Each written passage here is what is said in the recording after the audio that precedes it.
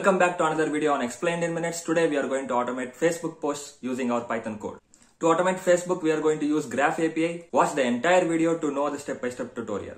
And it is going to be really simple and very interesting. With that note, welcome to ASA Learning. Now before automating Facebook, we have some prerequisites here. We need to get the access token for our Facebook page and the Facebook user account. And here comes the question.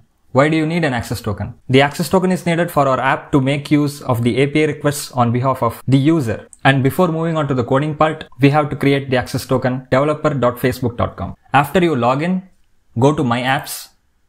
Now you need to create a new app. Click on Create App and choose your corresponding options. And once your app is created, go to Tools and click on Graph API Explorer. The Graph API enables you to read and write to Facebook social graph. In order to put in simple words, API enables you to access the internal features of a program in a limited fashion. You need to create an access token. The access token is needed for the app to make an API call to read, modify or write a FB data on your behalf. So now I'll go ahead and select my app that was created, which is ASA Learning Test.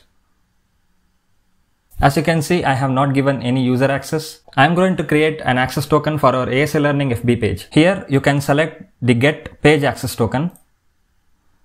It will ask for your credentials, log into your account and select your page. Now your app is linked with your FB page. Here you need to give certain permissions in order to post or get the data from your FB page. To add a permission, Click on this drop down and you will have event groups pages options and here you will be able to choose the permissions that are required. I'll choose pages manage engagement which is required to post and comment, pages manage post, read user content, publish to groups, pages messaging and metadata. And now I have added new permissions. I need to generate access token now. After giving the required permissions, go and click on generate access token. And it will again ask you for authentication now you can go and select your page access token. Now these permissions are granted. Now you can submit it. And now it is submitted successfully. All you need to do is click on this copy button. We have copied our access token after granting the required permissions. And do note one more thing, we need Facebook SDK as well. So install Facebook SDK in your environment. After installing Facebook SDK, we will import it as we have the access token copied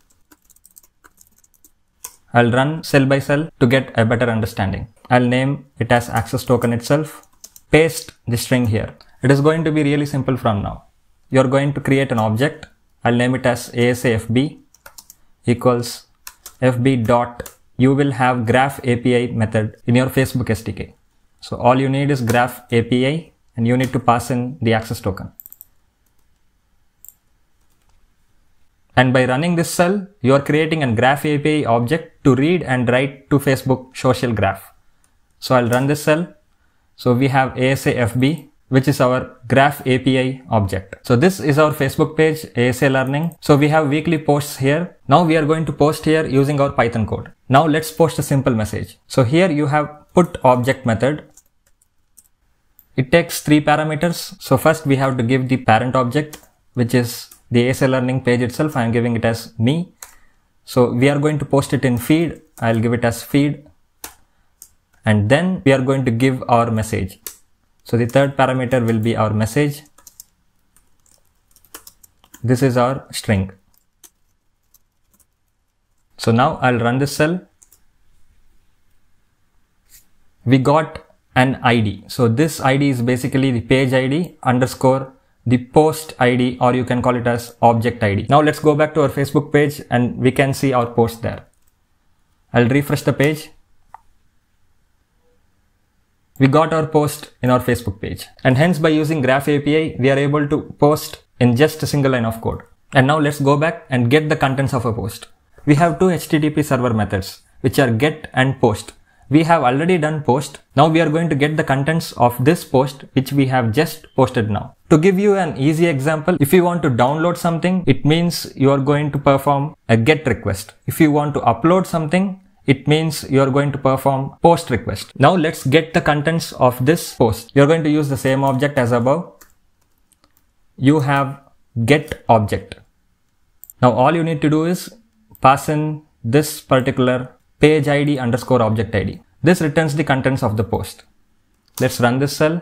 You will get a JSON response. So here it says the created time, the message and the ID. This is going to be interesting. Now let's post a photo with captions on our FB page. In this particular working directory itself, we have an image file. I'm going to post that image file with a caption. Let's go back to the same object, ASAFB.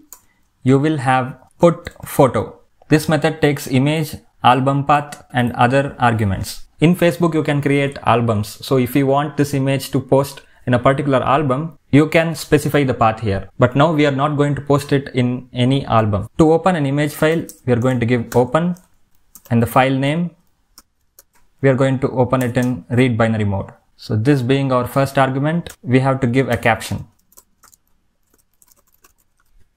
I have given automated meme post as caption. If you want to know more about file and directory operations, we already have explained in minutes videos. You will get the pop-up above. Check it out. Now let's run this cell. Now let's go back to the FB page and see if it has posted it. So I'll refresh the page.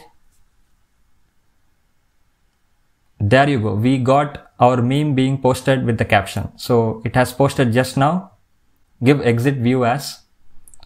Now you can actually see it has been published by the ASA Learning Test app. So this is only shown to the owner of this page. We got our captions as well as the image. So this is the image that I had in our working directory. Let's comment on that photo. So again, ASAFB, we have put object itself. To post a comment, we are going to use the same three parameters that we have here. And the important change is we need to specify the post ID on which post you are going to comment. So I'm going to comment on this photo that we have just posted. So instead of feed, you need to mention it as comments. I'll change the string as well. Let's run this cell. So this is nothing but the object ID underscore the comment ID. Now let's go back to the Facebook page. Let's refresh it and now you can see the comment here. Yeah, we got the comment as well. We have posted an image with the caption and then we have automated the comment as well. And now let's see some sample API requests to get the data from Facebook. If you want to access these examples, the link to the GitHub code is given in the description below. To request a response, in Python we have three libraries. The first one is http lib, the second one is url lib, the third one is requests. So we will use requests now and we will definitely have a separate video on API with Python. For now we will use this API ends. So before that we need to import requests. So I'm going to use requests library here. Now you need to specify the URL. So this will be your API end. I'll name the string as URL itself. So now let's get the fan count of the page. So here you need the access token to authenticate and you need the page ID. That's it. You already know what is page ID. I will copy it from the output. So this will be our page ID and we need to specify the access token here. We have given our full URL. Now it is really simple. You are going to perform a get request.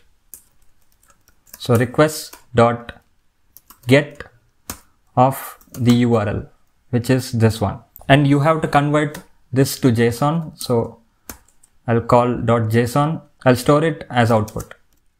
Now let's print this one and see what it returns. You can see the followers count and the page ID.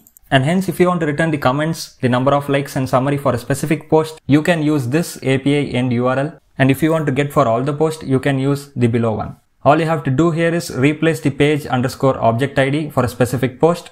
Or if you want for all the post, just replace the page ID here. And also do mention the access token so that the app can make the API calls. Hence, we have automated a post with message, we have posted a photo with caption, and also automated the comment on the post, all with the help of Graph API. And not only that, we have also retrieved data from our Facebook page by help of API GET requests. If you find this video useful and interesting, Leave a like, comment your queries below. I'll try to answer all your queries. We have automated WhatsApp messages using Python code and other interesting explained in minutes series videos. Check out the link in the description below. And do subscribe the ASA Learning YouTube channel and ding dong the bell. See you all in another interesting video. Take a pound.